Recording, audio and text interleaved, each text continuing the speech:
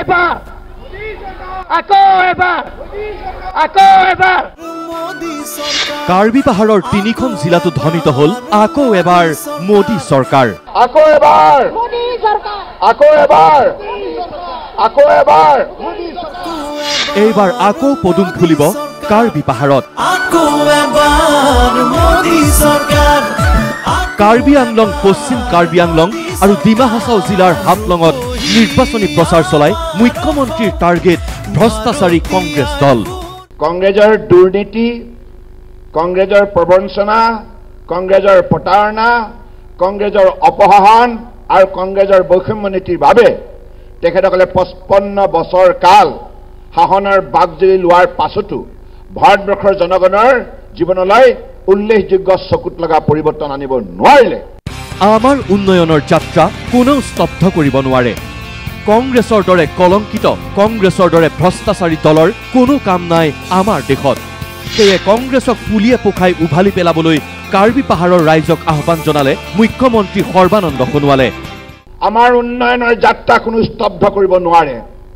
কংগ্ৰেছৰ দৰে কলংকিত কংগ্ৰেছৰ দৰে ভ্ৰষ্টাচাৰী কংগ্ৰেছৰ দৰে দুখীয়া মানুহৰ ধন আত্মসাত কৰা দল আৰু কংগ্ৰেছৰ দৰে পৰিয়ালতন্ত্ৰত বিশ্বাস কৰা দলে কেতিয়াও ৰাষ্ট্ৰৰ এশ ত্ৰিশ কোটি জনগণক সন্মান সহকাৰে নিৰাপত্তাও দিব নোৱাৰে উন্নয়নো দিব নোৱাৰে। গতিকে সেইবাবে প্ৰমশ্ৰদ্ধা ৰাইজ কংগ্ৰেছক সম্পূৰ্ণৰূপে প্ৰত্যাখ্যান কৰিব লাগিব।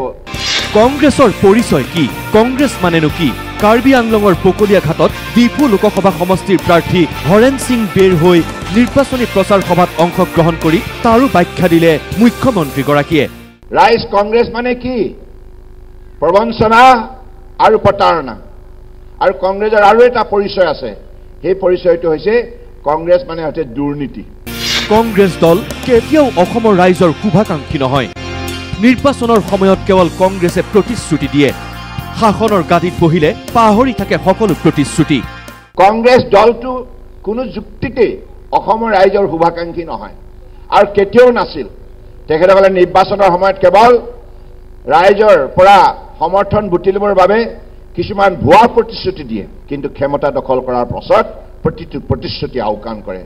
মেডিকেল কলেজৰ পৰা ইঞ্জিনিয়াৰিং কলেজলৈ পলিটেকনিক কলেজৰ পৰা এ চি এছ ট্ৰেইনিং চেণ্টাৰলৈ সকলো হ'ব ডিফুত নিৰ্বাচনী প্ৰচাৰ সভাত ভাষণ প্ৰসংগত ৰাইজক উদ্দেশ্যি এই মন্তব্য কৰিলে মুখ্যমন্ত্ৰীগৰাকীয়ে। ডিফুত এই মেডিকেল কলেজ প্ৰতিষ্ঠা কৰাৰ সিদ্ধান্ত গ্ৰহণ কৰা হৈছে।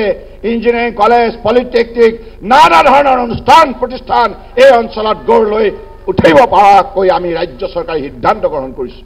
বিগত পোন্ধৰ বছৰে কংগ্ৰেছে কি দিলে? সেয়া কাৰ্বি আংলঙৰ তিনিওখন জিলাৰ ৰাইজে ভালদৰেই জানে। কিন্তু বিগত দুটা বছৰত বিজেপি চৰকাৰে কাৰ্বি পাহাৰলৈ দিয়া বিশেষ পেকেজ সঁচাই তুলনাবিহীন। নিৰ্বাচনী প্ৰচাৰ সভাত মুখ্যমন্ত্ৰীক লগত লৈ এই মন্তব্য কাৰ্বি স্বায়ত্তশাসিত পৰিষদৰ মুখ্য কাৰ্যবাহী তুলিৰাম ৰংহাঙৰ। কংগ্ৰেছৰ শাসনৰ আমোলত স্পেচিয়েল পেকেজ আমাক আজি তাৰিখলৈকে দিয়া নাই। বৰ্তমান চিফ মিনিষ্টাৰ আমি ধন্যবাদ দিব লাগিব। তেখেতে কাৰ্বি আংলঙৰ কাৰণে সেই ডেৰটা বছৰত আংলঙৰ কাৰণে প্ৰায় তিনিশ চাৰিশ কোটি টকাকৈ বেছি পুঁজি দিয়া হৈছে বিশেষ পুঁজি স্পেচিয়েল পেকেজ দিয়া হৈছে।